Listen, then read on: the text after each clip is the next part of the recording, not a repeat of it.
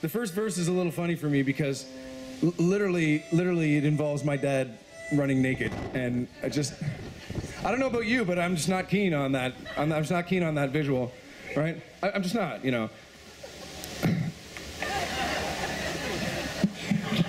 I mean, I mean, really, Garnet and I are the good-looking ones. Uh,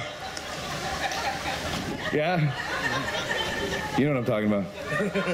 That's, well, that's the long and the short of it, anyway, right? I'm, I'm like, I mean, I'm built just like those guys, but just on like an 80% dimension. It's like, it's like they shrunk me down in a scanner. It's a heck of a bloodline where a six foot one guy is mini me. I'm not six one. I'm six one in my boots. Good enough.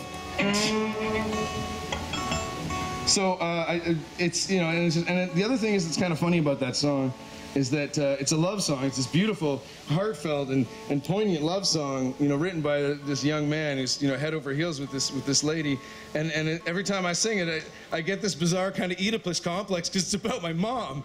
You know, it's like, I'm not like don't get me wrong, like I love my mom, just not like Stan did. And mom appreciates that.